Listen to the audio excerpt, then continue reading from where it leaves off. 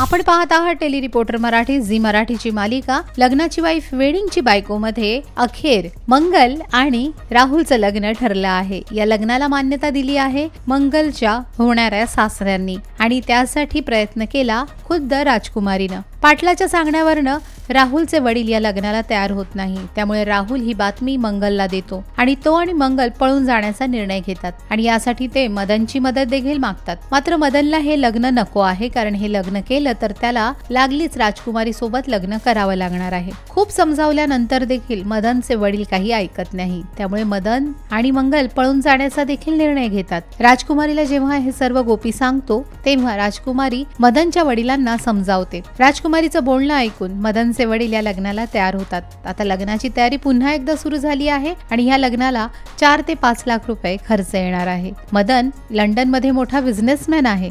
त्यामुळे हा सर्व खर्च त्याला करावा लागणार आहे. त्यामुळे गोपी मदनला म्हणतो की तू आधीच नानाला सांगून टाकलंस की तू लंडनमध्ये टॅक्सी चालवतो तर ते तुला काहीच बोलणार नाही. त्यामुळे मदन आता नानाला खरं सांगणार का? हे पाहणं इंटरेस्टिंग ठरणार आहे. लग्नाची बायको वेडिंगची वाईफ या मालिकेच्या अपडेटसाठी टेली रिपोर्टर मराठीला सबस्क्राईब करा आणि हो तुमच्या प्रतिक्रिया कमेंट बॉक्समध्ये जरूर नोंदवा.